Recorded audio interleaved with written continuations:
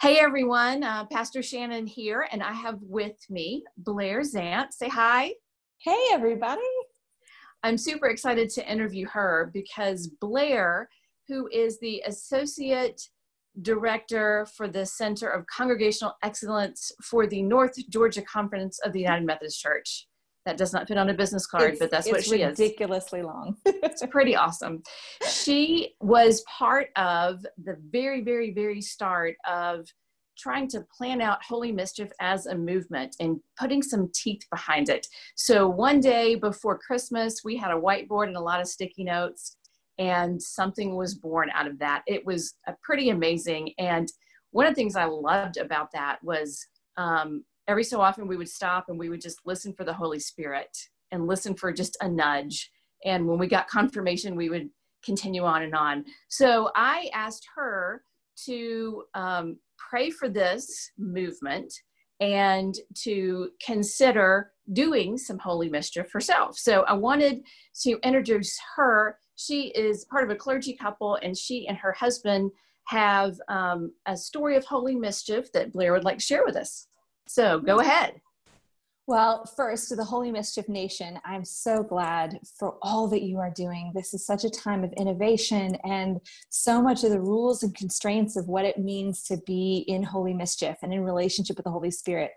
They're all gone. They're all remade. This is a chance for us to create new things, and the Holy Spirit has been unleashed. So, thank you guys all. It's been inspiring to see your stories and your testimonies and to hear your creativity as you care for your neighbor and shelter in place and acknowledge social distancing. But Shannon, you and I are just talking about how instantly everybody just turned on a dime to love their neighbor and to look for opportunities to create holy mischief. So it's been awesome. So thank you for letting me share a little bit in our corner. And to you, Shannon, thank you so much for being like the spearhead of all this. It's been amazing to be part of this movement and this journey. And yes, um, whiteboarding and sticky notes are my love language. So yes thank you for letting me love you with my love language. And like, it was amazing that day to see what God put on the board. It's been truly incredible to see where you have followed the Holy Spirit after that day. So thank you from all of us. Thank you. Everyone give applause. Everyone put your like praise hand emojis in the comments. Like this is amazing to be a part of this. That's not why I asked you on. Now tell Oh, us of a course. story about Holy Mischief. Absolutely. So, like many of you, we have gone through several stages of counting the losses of this sudden change in the way we do church and we live life. And um, when we found out that we had to cancel church, that was really, or not cancel church, we had to close the church building and move online and move kind of to, you know, a different way of being church. One of the ways that like insult got added to injury is the next day, my husband got a call that all the signs, the yard signs that he had ordered to hand out to the congregation to help them publicize Holy Week, they were ready. They were ready and paid for. Um, and we live in a Mm. really pedestrian neighborhood in the church, so that's a that is the biggest way that we help um, celebrate and we help kind of promote the church and the work of the church to our community. So it was just a huge crushing blow. And we stopped and we took a breath and we asked the Holy Spirit, what do we do with this? So the Holy Spirit laid it on Will's heart uh, to recreate them. So we actually went down to the basement and we grabbed our house paint because we either have like Oh. kiddo washable paint or we have house paint. Like that's the options in our house. So we grabbed house paint and we just painted all the signs white. We just painted them all white. And then we got the kids involved and we got magic markers and Sharpies. And, and that's when we busted out the finger paints and we just remade them. And we were really prayerful about what we should say. And I think a lot of the language coming out at that time was, oh, Easter is canceled. Easter is canceled. Mm. And we were like, you know what? Doesn't matter where we meet or how we proclaim it, or even if we, we proclaim it, Easter always happens. Easter always happened. Yeah. The first Easter was proclaimed in the dark with no one to witness it until a few were called to the tomb. So it happened without anybody else noticing or proclaiming it until the first witnesses did. So one of the things like I call. said on one of the things I said on Sunday uh, during prayer time, we truly understand what it means when the rocks and stones cry out now, because we kind of felt like, wait, we got to cry out now. Mhm. Yeah. Yeah. I mean, that's, I think uh, this is so an aside between you and me and everybody watching. this is going to feel it's not going to feel like easter the way we've known it i think it's going to help us appreciate holy saturday a lot more than we've ever appreciated before. I think that's actually going to become a sacred time for for me and for our family this week is what holy saturday means. So knowing all that and yes amen. Um, we decided that the the call that we were going to place on the signs was easter always happens and so that's what we did. And we handed out blank signs, uh, kind of painted signs to everybody who wanted one, socially distant. They came and picked them up and took them back to their houses.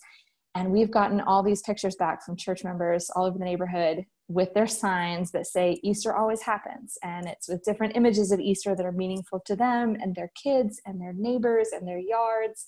And it's just been amazing to see once again how church has become church in a whole new way proclaiming an Easter that we have come to truly appreciate in a whole new way. So I love that story. And um, so once we post this video, uh, you'll add some of those pictures in the comments so we can see what those yes. signs look like. Yes, absolutely. That's Scroll really, below. And I'd love to invite anybody who's watching. How is Easter always happening? How did Easter always happen in your neighborhood, in your church? Post your pictures and your comments and your stories below because I want to hear what you guys are doing too, how God's breaking loose yeah. There's our story of holy mischief. I love it. I love it because it's repurposing something um, and it's creating something and making it new again which is embodying the gospel message. Um, yes. And taking something that could have had a really really grieving grieving death. Like these signs we can't use them for their original purpose. They were yeah. going to have to die. And they did and were resurrected in something even more inspiring for us. So it's the story of Easter, right? Nice. Well, so yeah. w- that gives me an idea. When we started the Holy Mischief Lenten Challenge, we ordered some signs that I thought were just going to say Holy Mischief, but they actually said Lenten Challenge on them. And I thought, well, gosh, you know, we can't use these after Easter. But now we have the idea that we can. We can repurpose this somehow and um, and do a little holy mischief with our signs. I love awesome. it. Awesome. Okay. I want to hear what you do. So, which leads me to my question for you. Uh-huh. What is next for the Holy Mischief movement? Um, we know that after Easter, we're going to have to, we're going to get the chance to rethink everything about what church is and how we live it out. So, what are you thinking for yes. Holy Mischief? Well, so going into into Lent, we had I had a very organized uh, set of 40 challenges and a devotional that went with every single one. And as soon as we started sheltering in place, most of the challenge, not most, but a, a, good number, we couldn't do anymore because they involved uh, not having that social distance. So we redid some of those, and some people are doing those as they see fit. But what I've seen that I think is beautiful is the organic nature of Holy Mischief, which is truly the process that I think the heart you need to follow. Yeah. So yeah. um, early on, after I had met with you, Blair, I I talked with someone else, and and she said, "Well, describe this to me." I said, "Well." It's you know the mysterious disruption of God God's love in action, and she said, "Okay, well, how do you do that?" I said, "Well, you know, it's pretty simple. It's pretty easy. It's acts of kindness." And she said, "Stop! Don't say that anymore. It it's not easy if it were easy, everyone would do it. There's a process here. What is it? Uh, I said, oh, well, you need to start with prayer so that you can see where the Holy Spirit is leading. That's what's happening now.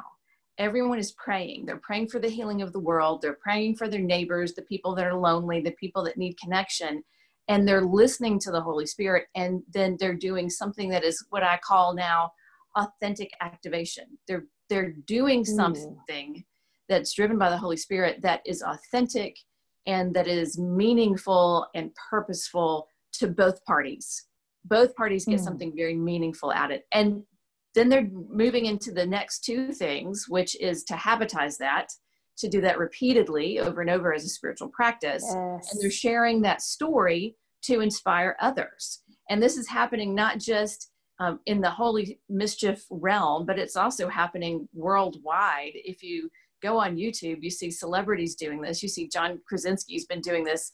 Um, you know, I am, I am, living for him today. Like he that is saving my life today. He and Emily Blunt I was and Lin Miranda. Oh, sobbing I, and singing. So good. It was amazing. Um, I was like, yes, he gets holy mischief. And what I loved, yes. this is what I loved. He he he made a uh, he brought in those people that were um, you know taking his copyright and his brand. Yes. And then yes. he made fun of him and he said, But that's what I want you to do. That's what it is. And that that's I was like, Yes. Yes. That's what yes. Take this. Own it for yourself. Yes. Amen. So um there's I there's still an unknown about next steps, but I think that this organic nature of what's happening and people really wanting, they didn't realize how much they needed connection until it was taken away. Um, so I think people are on the other side of this are going to crave connection, and I think giving people opportunities, um, not just to be part of a program, but to be part of connecting with one another I think is going to be that next step in this. Uh, so I envision, uh, you know, pop up parties and gatherings where people connect and then deploy out to do holy mischief. Whatever that looks like in the future, that's what I see happening. That is beautiful. I'm really excited beautiful. about it. Um, what it what it resonates for me immediately is how this week is going to make us newly appreciate Holy Saturday Mm. I think I think moving beyond this week, suddenly we turn our eyes to Pentecost. And not just a day on the calendar that we get an excuse to bring out red as the color, but as truly a day of celebrating the birth and rebirth of what it means to be the body of Christ and the mm. dispensation of the Holy Spirit, like when it was set loose on the world. And how can we truly be a people of Pentecost this year as holy mischief I, makers? you saying that, I am now more excited about Pentecost than I ever have been. And I'm Yay. always excited about Pentecost because it's one of right. my favorites. Yes. So that's awesome. I'm looking forward to that. Maybe we, I will put together a Holy Mischief Pentecost. I don't want to call it a challenge. I want to call it something else. Um, mm. Um, so if someone has listened this far and you have an idea about what to call it, will you let me put know in the comments? In yes, the comments. in the comments. Yes. That would be. And I'll, I'll go to my whiteboard. I'm to my whiteboard and my sticky notes. Where's the sticky note? All right. Well, it has been wonderful talking to you. And I am so thankful for the encouragement, the leadership that you have provided. It has been wonderful. And um, I'm excited to go paint some signs. Amen. So, everyone, Amen. bye. And keep sharing those stories. We love it. Thanks, everybody. Blessings, especially in Holy Week. Thanks for everything.